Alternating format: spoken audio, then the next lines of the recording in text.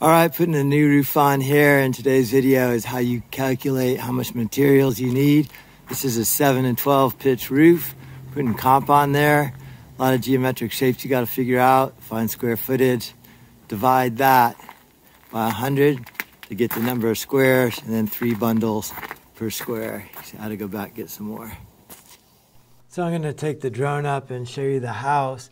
Couple things you want to notice here that there's really only a couple of geometric shapes. They're triangles, so they're on the hip and There's a triangle like at the top of the screen there. There's a parallelogram, and then there's also trapezoid. So you need to be able to find the area of those geometric shapes, and then add all that total square footage up, and then you're going to divide by 100 to get the number of squares. And one thing you really have to remember, especially on a house like this, is that with all of those valleys, there's going to be a tremendous amount of waste, especially if you're putting in metal valleys. So you got to take that into account, and it's going to be substantial. And then again, this is if you are on the rooftop measuring it, so you've already taken the pitch into account. I would also check with your roof supplier. If you have plans, you could bring it to the roof supplier, and they'll give you a takeoff for the number of squares. Um, you know, there's a lot of money involved. This is just the way I do it, and I would certainly check with your local roofers and your local supplier. Estimating the material correctly takes a fair bit of math, some calculations, and most importantly, experience. Um, this roof was complicated with a lot of valleys in it, and I, in fact, kind of screwed it up and miscalculated it and was a few squares short. So not only did I have to buy more squares, but I had to drive down to the roof supply house and buy more and then hand stack the roof with the additional squares. When you buy the materials, if you're really accurate, usually you buy a rooftop delivery along with that, which means they come out with the truck and a conveyor belt and they stack the roof for you. If you end up buying too many shingles, that means you got to carry them back down on the ladder and put them in your truck and return them. So math is the key, but experience there's no substitute for. So let me go ahead and start going over how to calculate the area of a roof to find the number of squares needed. Let's start with the easy example here. Let's say you have a gable end on both sides of the roof. It looks like this. You're up on the roof, so you're measuring the dimensions. You measure this out to be 20 feet, and this side is 20 feet, and then the overall length of it is 40 feet. So you're going to multiply 40 times 20 to get 800 square feet right here. That's the notation for 800 square feet. And this is 800 square feet. Um, no valleys, pretty much no cutting. Um, you're gonna you're gonna buy 40 foot of ridge to go over the top. And you're gonna take those 1,600 total square feet, 1,600 total square feet, and you're gonna divide by 100. Those will cancel, and that'll give you 16 squares. So that's kind of the easiest example where you have um, a gable end on both sides. All right, now, it looks kind of like an envelope. Now let's say you have a hip on both sides. So you're framing back in here, and this is the only ridge. Let's say, again, this is 40 feet, 60 feet. And then you need to measure this altitude right here. You need to find this height here on the flat. And if that's, say, 15 feet, this hip end would be the same, the same 15 feet, and then you would have this ridge would be 30 feet.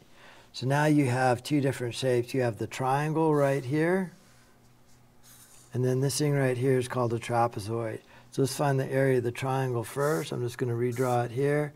Area of a triangle is base times height, 40 times 15 divided by 2. Again, that's going to be base times height divided by 2, or 40 times 15 divided by 2, and that's going to work out to be 300. So that triangle right there is 300. This one has the same dimensions. It is also 300.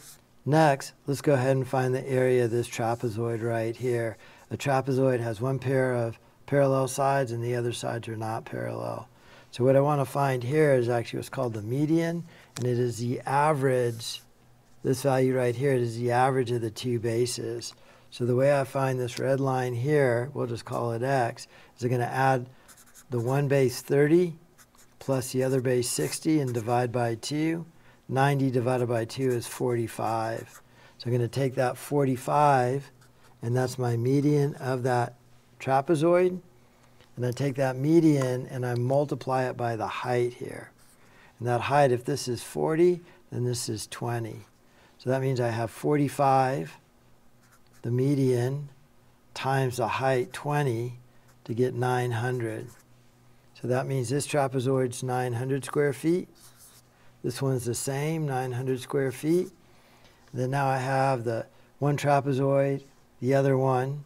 I'm going to add all those up, 900, 900, plus the 300, plus the 300. That's going to be my total square footage. Um, 18 and 6 is 2,400 square feet. And then 2,400 divided by 100 square feet to get the number of squares is going to be 24 squares. So another shape is a parallelogram. You might see this when you have a hip on one end and then a California frame in, you know, onto a gable end coming out this way. You might have seen it in the in the drone footage earlier.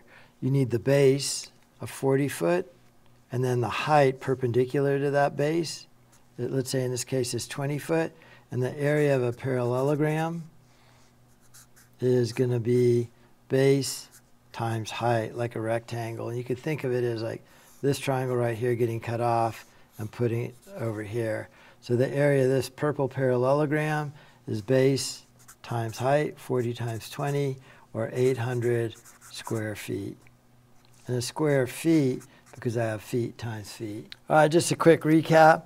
Uh, I got four shapes here, area of a rectangle, and everything's going to be in feet, and then you divide the total number of feet by 100 to get the number of squares.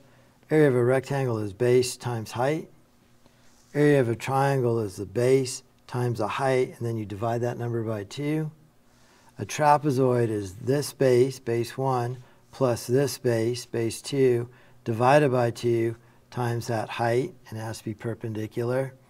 And then a parallelogram is base times height. So those are the four primary shapes you're going to see in roofing. This is all calculated up on the roof by measuring the lengths, and that'll take into account the pitch because you're up there measuring the length on the roof itself. So that'll include the eaves and the pitch of the roof. All right, I hope this video is informative. Uh, hopefully it helped. Please comment below if you do a lot of roofs, if you got a different system, or if you have a better system. I appreciate you watching. Thank you.